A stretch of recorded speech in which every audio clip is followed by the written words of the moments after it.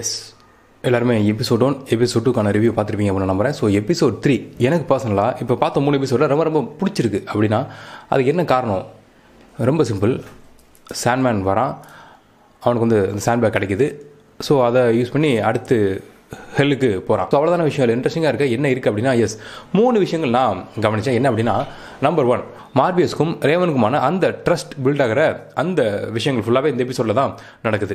ரெண்டாவது விஷயம் சாண்ட்பேக் அவருக்கு கிடைக்கிறது. ஐ மீன் இப்போ வரைக்கும் அவருக்கு எந்த பவருமே இல்லை. அவரோட அந்த மூணு விஷயங்கள் இருக்குல்ல சாண்ட்பேக் ரூபி ப்ளஸ் அந்த ஹெல்ப் அது எதுவுமே அவர்கிட்ட இல்லை. ஸோ அதில் ஏதாவது ஒன்று கிடைச்சா கூட அவர் பவர்ஃபுல்லாக மாறுவார். அதை நம்ம பார்க்கலாம் அப்படின்னு ரொம்ப ஆர்வமாக இருந்தோம். ஸோ அந்த வகையில் இந்த எபிசோடில் அவருக்கு சாண்ட்பேக் கிடைச்சிருது. எஸ் மூணாவது விஷயம் என்ன அப்படின்னா எபிசோட் டூலே வந்து ஒரு கேரக்டர் புதுசாக உள்ளே வந்துச்சு ஜோனா கான்ஸ்டன்டின் அப்படின்னு. ஸோ அந்த கேரக்டரோட அவுட் அது எப்படி உள்ளே வந்துட்டு எப்படி வெளில போகுது? ஐ மீன் அது எந்த மோட்டோட சாண்ட்மேனை பற்றி எந்த ஐடியாலஜியோட உள்ளே வந்துச்சு? இப்போ எந்த ஒரு ஐடியாலஜியோட வெளியில் போகுது? அப்படிங்கிற விஷயம் எல்லாமே இந்த எபிசோட் த்ரீல நம்ம ரொம்ப டீட்டெயிலாகவே தெரிஞ்சுக்கிறோம். ஸோ அதனால தான் சொல்கிறேன் இந்த எபிசோட் எனக்கு ரொம்ப ரொம்ப பிடிச்சிருக்கு. ஸோ வாங்க அதை கொஞ்சம் டீட்டெயிலாக பேசலாம். I don't know Tamil. சி மார்பேஸ்க்கு இருக்க முக்கியமான பொருள் ஒன்று அந்த ஸ்டாண்ட் ஸோ அதனால அவர் வந்து சாண்ட்மேன் அப்படின்னு கூப்பிட்றாங்க. சாண்ட்பேக் அப்படிங்கிறது ரொம்ப ரொம்ப முக்கியமானது. அந்த சாண்ட்பேக் யார்கிட்ட இருக்குது அப்படின்னா எஸ் ஜோனா கான்ஸ்டன்டினோட கேர்ள் ஃப்ரெண்ட் கிட்ட. ஸோ அவங்க வந்து லெஸ்போ அப்படிங்கிறனால அவங்களோட கேர்ள் ஃப்ரெண்ட் கிட்ட அவங்க பிரேக்கப் பண்ணிட்டு வர்றப்ப அந்த சாண்ட்பேக் அங்கேயே விட்டுட்டு வந்துட்டாங்க. அதோட எக்ஸ்ட்ரீமாக என்ன நடக்குது அப்படின்னா அங்கே போய் பார்க்குறப்ப சாண்ட்பேக்கை தேடி போயிட்டு சாண்ட்பேக் எங்கே எங்கே இருக்குன்னு சொல்லி கார்பியஸ் கான்ஸ்டன்டின் கிட்ட கேட்குறப்ப அவங்க என்ன சொல்கிறாங்க அப்படின்னா இந்த மாதிரி நாங்கள் லவ் பிரேக்கப் பண்ணோம். ஸோ அதனால் என் சாண்ட்பேக் அங்கே விட்டு வந்துட்டேன் அப்படிங்கிறாங்க. ஸோ அங்கே போய் ஆறு மாதம் கழிச்சு பார்த்தா அந்த பொண்ணு வந்து கிட்டத்தட்ட சவம் சொல்லுவாங்கள்ல இறந்து மம்மின்னு சொல்லுவாங்கல்ல கிட்டத்தட்ட அந்த ஸ்டேஜில் இருக்காங்க. அதுக்கு என்ன காரணம் அப்படின்னு இந்த பொண்ணுக்கு கான்ஸ்டன்டினுக்கு புரியல.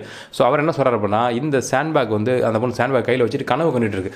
ஸோ இந்த சாண்ட்பேக் மனிதர்கள் கையில் இருக்கவே கூடாது அப்படின்னு. ஸோ அதோட மீனிங்கை நம்ம என்ன புரிஞ்சுக்கிறோம் அப்படின்னா ஸோ ஐ மீன் நான் புரிஞ்சுட்டு என்ன அப்படின்னா அதில் வந்து கனவுகள் நம்ம வந்து காணலாம். ஸோ அப்படி கனவு காண்றப்ப நமக்கு பிடிச்ச கனவுகளை அந்த சாண்ட்பேக் மூலமாக காண முடியும் அப்படின்னு நினைக்கிறேன். ஸோ அந்த கனவுலே நம்ம நிறைவாக இருக்கிறோம். அப்படிங்கிற தூக்கத்தில் அந்த கனவுல நம்ம நிறைவாக இருக்கோம். அது அந்த கனவு உலகத்தில் ஒரு வாழ்க்கை வாழ்ந்துகிட்டு இருக்கோம்.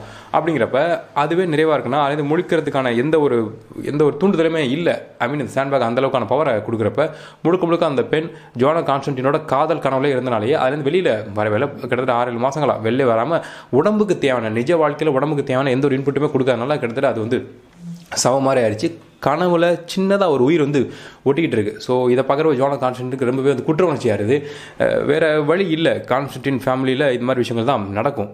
ஸோ அதை பற்றி தனியாக நான் சொல்கிறேன் ஸோ அதனால் அவங்க வந்து குற்ற உணர்ச்சியில் வெளில போயிடுறாங்க. ஏதாவது ஹெல்ப் ஹெல்ப் பண்ணு அப்படின்னு சொல்லிட்டு வெளில போயிடுறாங்க. ஸோ அவர் வந்து சாண்ட்மேன் பார்க்குறாரு ஓகே ரைட் இவளை இப்படியே விட்டுட்டு போனால் ரொம்ப கொடுமை. ஐ மீன் நமக்கு ஹெல்ப் பண்ண ஜானா கான்ஸ்டன்டினோட கேர்ள் ஃப்ரெண்ட் அப்படிங்கிறனால எக்ஸ் கேர்ள் ஃப்ரெண்ட் அப்படிங்கிறனால அவர் ஒரு பாசிட்டிவான எண்டிங் கொடுக்குறாரு. அந்த பொண்ணுக்கு அந்த ஒரு ஒரு ஒரு கிட்டத்தட்ட ஒரு தேர்ட்டி செகண்ட் சொல்லலாமே. அந்த பர்டிகுலர் பாயிண்ட்டில் ஒரு பாசிட்டிவான மெமரிஸோட அந்த பொண்ணோட வாழ்க்கையை முடிச்சு வைக்கிறாரு. ஸோ இதுதான் இந்த எபிசோடில் ஜானா கான்ஸ்டன்டினுக்கும் சாண்ட்மேனுக்குமான ரிலேஷன்ஷிப் ஐ மீன் எந்த பாயிண்டில் சாண்ட்மேன் மேலே அவளுக்கு ட்ரஸ்ட் வருது. இவன் பாவம் உனக்கு நம்ம ஹெல்ப் பண்ணலாம் அப்படின்னு தோணுதுன்னா எஸ் அவளுக்கு அந்த ஸ்டோரி தெரிஞ்சிருக்கு. சாண்ட்மேன் பற்றின ஸ்டோரி தெரிஞ்சிருக்கு. அந்த ஸ்டோரியில் சாண்ட்மேனை கோஸ்ட் அப்படின்னு சொல்லி ஐ மீன் எழுதி வச்சிருந்திருக்காங்க. ஸோ அப்போ தான் அவளுக்கு புரியுது அது கோஸ்ட் கிடையாது. அடைச்சி வச்சிருந்தது கோஸ்ட் கிடையாது. சாண்ட்மேன் தான். இத்தனை வருஷமாக அவன் வந்து ஒரு பாக்ஸ்குள்ளே அடைப்பட்டிருக்கான் அப்படிங்கிறப்ப கண்டிப்பாக அவனுக்கு நம்ம ஹெல்ப் பண்ணணும் அப்படின்னு சொல்லிட்டு தான் அவங்க இவருக்கு ஹெல்ப் பண்ண முன் வர்றாங்க. ஸோ அப்படி ஹெல்ப் பண்ண முன் வரப்ப அவங்களுக்கு சாண்ட்மேன் ஒரு ஹெல்ப் பண்ணுறாரு ஐ மீன் அவங்க எக்ஸ் கேர்ள் ஃப்ரெண்டை ஒரு பாசிட்டிவான எண்டிங்கில் அவர் வாழ்க்கையை முடிச்சு வைக்கிறாரு. அடுத்த முக்கியமான விஷயம் என்ன அப்படின்னா எஸ் ரேவன் சாண்ட்மேனுக்கு ஹெல்ப் பண்ணிச்சு. ஸ்டார்டிங்கில் நம்ம பார்த்துருக்கோம். ஆனால் அதோட முடிவு ரொம்ப ரொம்ப மோசமானுச்சு ஸோ அதை பார்த்த um, மாபியஸ்க்கு ரொம்பவே கஷ்டம். எனக்கு இனிமேல் யாருமே வேணாம். எந்த ரேவன் வேணாம். அவர் எந்த ரேவன் வேணாம் அப்படின்றதுக்கு மிக முக்கியமான காரணம் என்ன அப்படின்னா அவங்களோட எண்டிங்லாம் ரொம்ப மோசமாக இருக்குது எனக்கு ஹெல்ப் பண்ண வரேன்னு சொல்லிட்டு அவங்க வர்றாங்க. எனக்கு ரொம்ப உண்மையாக இருக்காங்க. ஆனால் அவங்க வாழ்க்கை ரொம்ப மோசமாக முடிஞ்சிருது எனக்கு எதுவும் ஆக மாட்டேங்குது.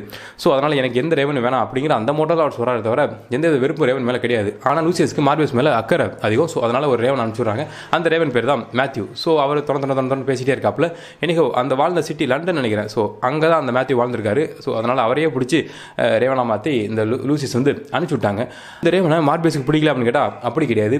இருந்தாலும் நம்ம பண்ணிட்டு இருக்க வேலைகள் ரொம்ப ரொம்ப ஆபத்தான வேலைகள். ஸோ இந்த நேரத்தில் ஒரு ரேவன் நம்ம ஹெல்ப் பண்ண வந்தால் கண்டிப்பாக அதுக்குமே ஆபத்தாக முடியும். அப்படிங்கிற காரணத்தினால தான் அவர் வந்து முடிஞ்ச வரைக்கும் அவாய்ட் பண்ணுறாரு எண்ட் ஆஃப் தி எபிசோடில் ஆனால் ஓகே ரைட் உனக்கு என்ன என் கூட ட்ராவல் பண்ணணும் அப்படி தானே? அப்படிங்கிறப்ப அது சொல்லுது ஆமா நன்மை இனிமேல் அதிக பேச மாட்டேன் தொண்ணு பேச மாட்டேன் அப்படின்னு ரேவன் சொல்லுது.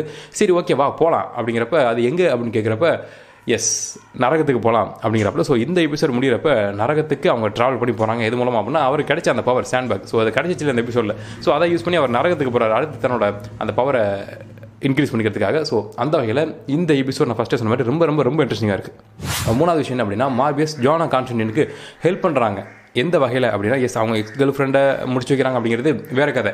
அதை தாண்டி இவங்களுக்கு ஒரு பேட் ட்ரீம் இருக்குது ஸோ அதை அவங்களால மறக்கவே முடியல அது அவங்களுக்கு தூக்கம் வர மாட்டேங்குது ஸோ அதோட சொல்யூஷன் யாரால் கொடுக்க முடியும் அப்படின்னா கண்டிப்பாக மாபியஸால் தான் கொடுக்க முடியும். ஸோ அந்த கெட்ட கனவை ஜானா அவர் டோட்டலாகவே எடுத்துறாப்புல. ஸோ இனி அவங்க நிம்மதியாக தூங்க முடியும். ஸோ அந்த விஷயத்த ஜானா கான்ஸ்டன்டினுக்கு மார்பியஸ் ஹெல்ப்பாக பண்ணுறாப்புல ஸோ இதுக்கான பலன் கண்டிப்பாக இனி அடுத்தது வரப்போகிற எபிசோட்லையோ இல்லை அடுத்த சீரீஸ்லையோ ஜோனா கான்ஸ்டன்டின் உள்ளே வர்றப்ப உறுதியாக ஹெல்ப் பண்ண போகிறாங்க ஸோ எனக்கு தெரிஞ்சு இந்த சீரிஸில் கூட வரலாம். எனக்கு நான் பார்க்கல அப்படிங்கிறனால சொல்கிறேன் அதை தாண்டி ஒரு விஷயம் நீங்கள் டீப்பாக கவனிச்சிங்கன்னா தெரியும். கான்ஸ்டன்டைன் அவங்க ஒரு விஷயத்த சொல்லுவாங்க. ஏன் நீ பிரிஞ்சு வந்த? அப்படிங்கிறப்ப அதுக்கான காரணத்தை சொல்லுவாங்க.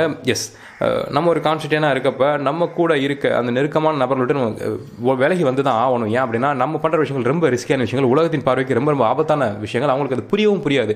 ஸோ அப்படி இருக்கப்ப நம்மளை பாதிக்கிற விஷயங்கள் அவங்கள பாதிச்சுன்னா அவங்களால அதை ஃபேஸ் பண்ண முடியாது. அப்படிங்கிறதுக்காக நான் ஒதுங்கி வந்துட்டேன் அப்படின்னு அவங்க சொல்லுவாங்க. ஸோ ஸோ இதே பண்ணி தான் நம்ம கான்ஸ்டன்டின் தனியாக ஒரு படம் வந்துச்சுல.